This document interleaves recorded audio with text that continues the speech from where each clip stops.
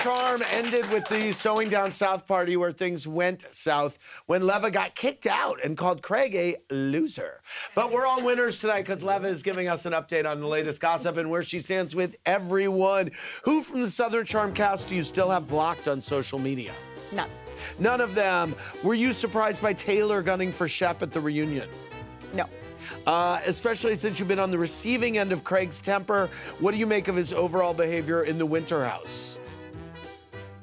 Craig having a moment.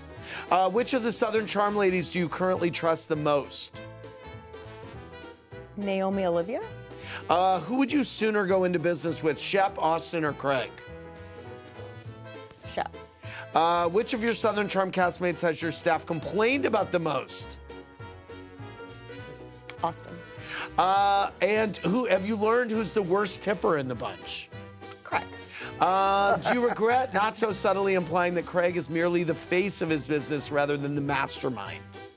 Well, I mean, I don't think Craig thinks he's the mastermind, but I definitely think Craig's involved in his business, and I was just angry. So. Okay, thank Yeah. you very much, Leva. Thanks for watching.